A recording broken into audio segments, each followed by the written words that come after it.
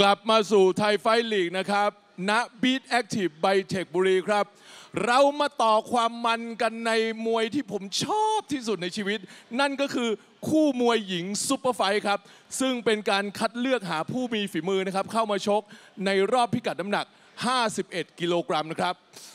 weight in 51 กิโลกรัม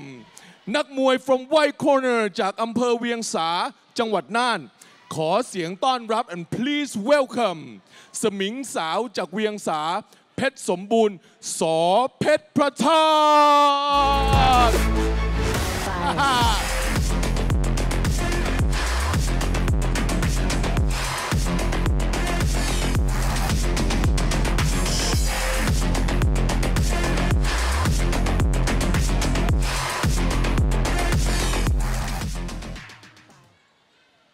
และสำหรับนักมวยหญิงนะครับ from black corner ที่จะขึ้นมาท้าดวลมาจากตำบลบ้านว่าครับอำเภอเมืองขอนแก่น ขอเสียงต้อนรับ and please welcome สาวแกร่งแห่งบ้านว่าธิดาพรเพชรน้องกิง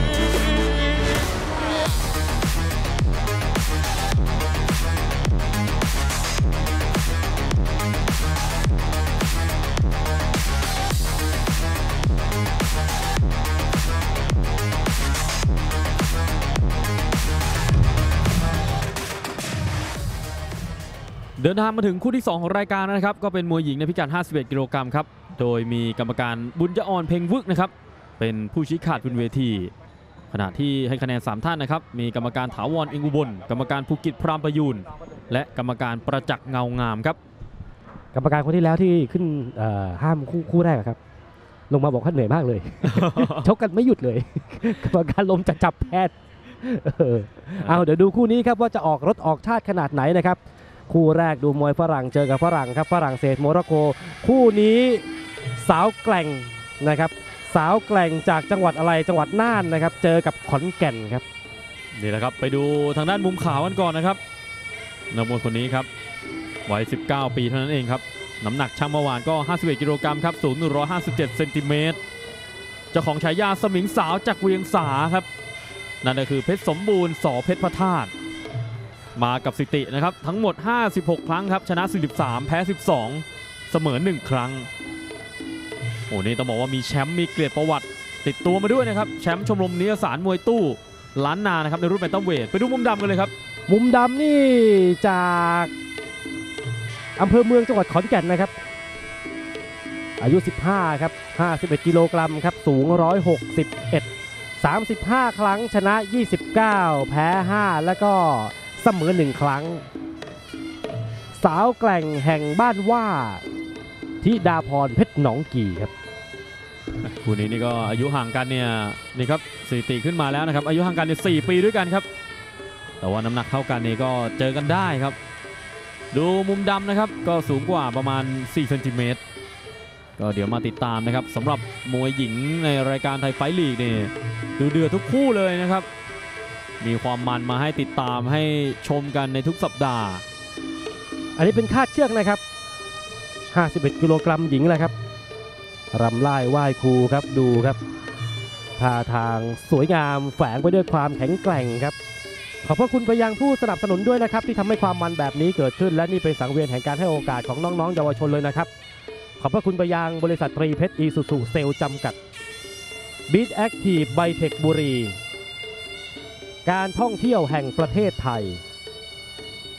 บริษัทไทยประกันชีวิตจำกัดมหาชน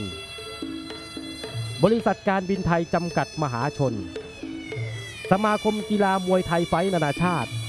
สถานีโทรทัศน์ช่อง 8 กดหมายเลข 27 แล้วก็อย่าลืมนะครับ ไทยไฟท์ลีกสัปดาห์หน้ากลับมาพบกันวันเดิมเลยครับ วันอาทิตย์ที่ 2 กรกฎาคมครับ เวลาเดิมครับ 18 นาฬิกา 18นาฬิกาเป็นต้นไปนะครับ ที่ไทยไฟท์อารีนาบีทแอคทีฟไบเทคบุรีนะครับ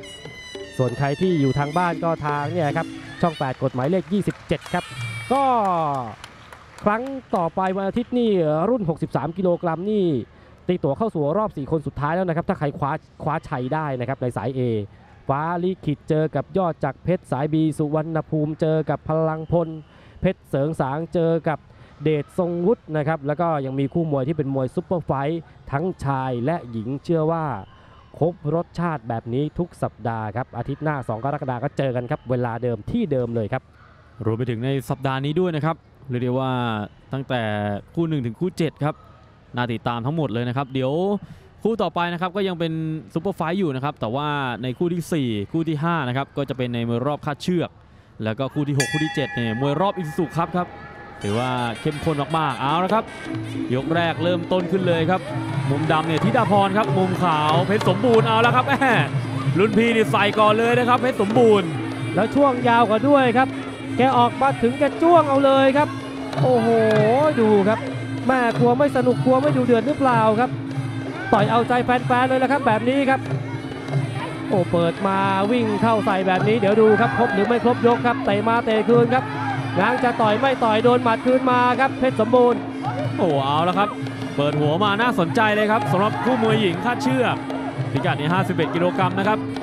อ้าวแข้งซ้ายไปครับเพชรสมบูรณ์ ต่อยหมัดไม่โดนครับเจอซ้ายของธิดาพรเนี่ยสวนมา นี่เหมือนม .3 ตัวกับพี่ปีหนึ่งเลยนะครับ เดี๋ยวดูว่าใครจะแน่กว่ากัน มุมขาวอย่าเพชรสมบูรณ์พยายามออกขู่ครับ แต่ว่าธิดาพรน้องไม่กลัวพี่ครับ น้องไม่กลัวพี่แบบนี้ ความมันบังเกิดครับ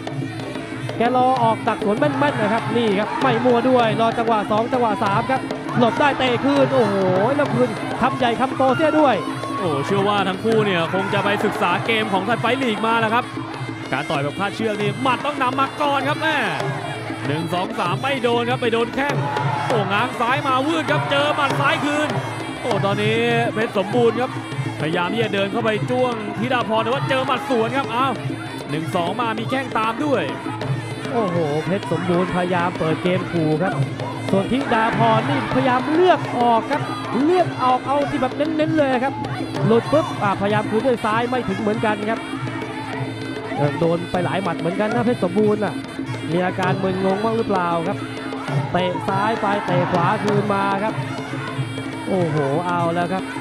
ดูถึงหน้าตรงนี้อีกคนนี่ได้เปรียบรูปร่างครับส่วนอีกคนนี่โอ้โห ได้ฝีมือได้ความจ่าแจ้งออกแม่นๆหมดยกแรกพักแป๊บเดียวครับ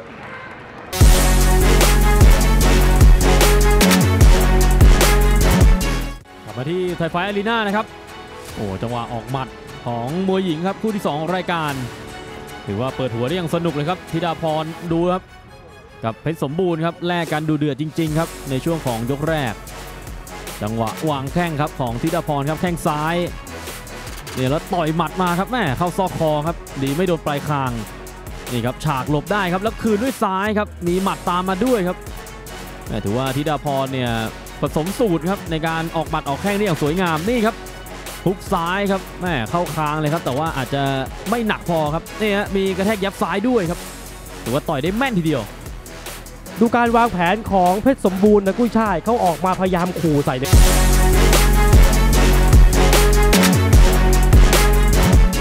ไม่ตกใจแล้วเอาคืนแบบเนื้อเนื้อเน้นเน้นๆนะครับ ออกแบบแม่นๆกว่าทำเอาเพชรสมบูรณ์ชกไปชกมาชักออกลูกลังเลเหมือนกันอ้าวยกที่สองครับเรียกแขนเรียกสติกลับมาอีกครั้งครับเพชรสมบูรณ์ครับพยายามเปิดเกมเข้าไปทีแต่ว่าเจอหมัดเนี่ยครับเจอหมัดเนี่ยครับเจอหมัดที่ดาพรจะออกแม่นกว่าครับ ม่มาทุกซ้ายเนี่ยถือว่าต่อยได้ดีเลยนะครับธิดาพรเอาแล้วครับ มีขวาเติมมาด้วย เป็นสมบูรณ์ยกนี้ จะปรับเกมอย่างไรครับเอาแข้งซ้ายยาวๆไปก่อน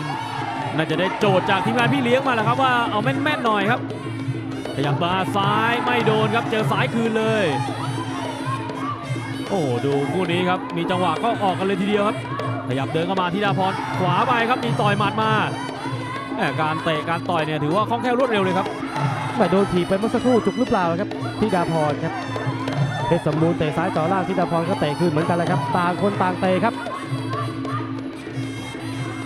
ขยับเข้าไปครับเพชรสมบูรณ์ออกไม่ออก โอ้นี่ครับแม่มาตรงๆครับพยายามทิ่มมาเตะซ้ายนี่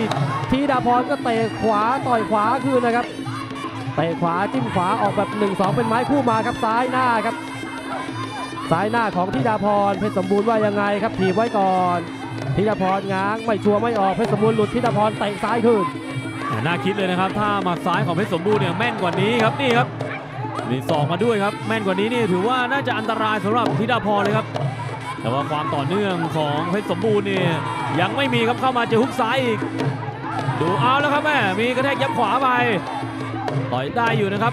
จังหวะออกมัดเนี่ยถือว่าเพิ่มความแม่นไปเนี่ย น่าน่าจะทำให้เกมเนี่ยดีขึ้นครับ แต่ก็เริ่มแม่นขึ้นตามลำดับนะครับ อาวุธของเพชรสมบูรณ์ครับ อยู่ที่ความต่อเนื่องในโดนกระแทกมาอีกแล้วครับเต็มใบหน้าเลยครับเตะขวาจ่อล่างมาครับที่ดาพร เล็กแต่จี๊ดจ๊าดเลยนะครับ หลบได้เตะคืนแล้วจิ้มซ้ายด้วย หมดยกครับหมดยกที่ 2 พักแป๊บเดียวครับ เดี๋ยวกลับมามันกันต่อ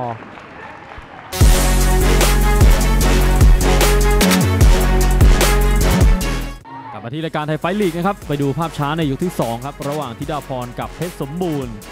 เป็นคู่ที่ 2 ของรายการนะครับในศึกไทยไฟลีกถือว่าการ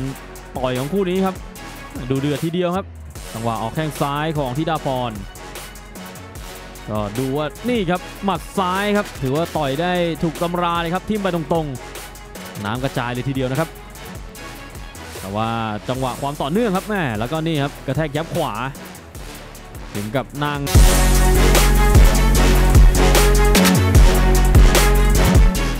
ใครทำได้ดีกว่าเนี่ยก็มีโอกาสถึงกับชูมือได้เลยครับ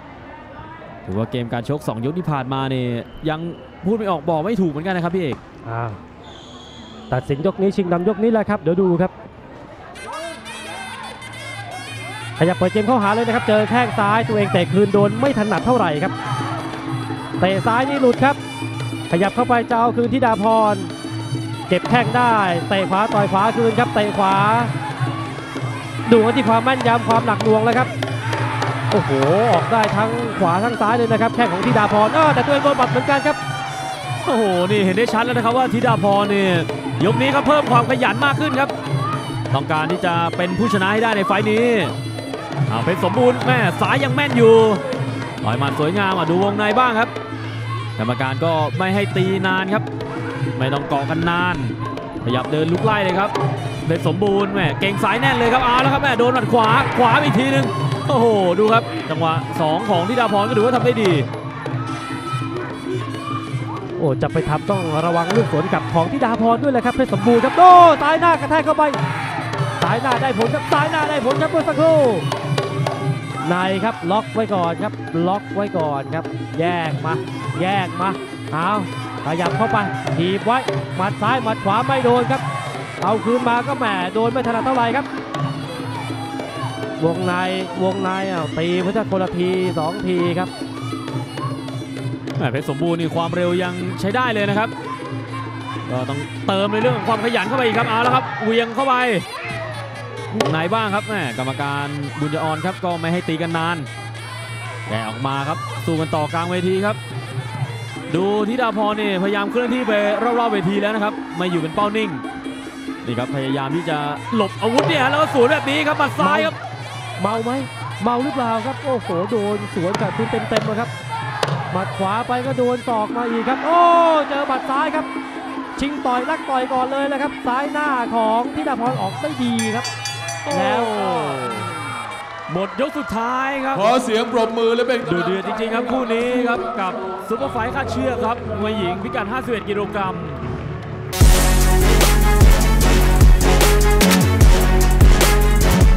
ว่าเกิดอะไรขึ้น หัวจิตหัวใจดีทั้งคู่อะครับ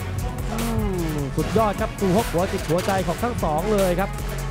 จังหวะเตะซ้ายหลุดปุ๊บแล้วก็มียังมีขวาครับยังมีหมัดขวามาครับเอาอยู่เอาคือด้วยหมัดขวาแต่ไม่ถึงนะครับหมัดของธิดาพร จังหวะอีกคนหนึ่งเตะอีกคนหนึ่งต่อยครับแล้วก็เสียหลักครับ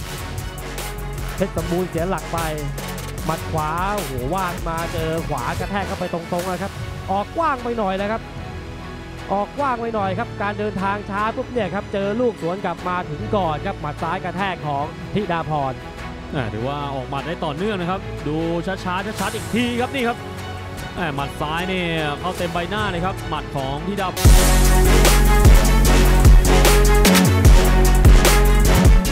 และนี่คือผลการแข่งขันของคู่นี้นะครับ and the winner is black corner ธิดาพร from ขอนแก่นอ่ก็เป็นความแม่นยำนะครับของทิดาพรที่ทำให้เธอชนะไปครับ เดี๋ยวพักสักครู่เดียวกลับมาคู่ต่อไปเดือดเหมือนเดิมครับ 71 กิโลกรัมชาย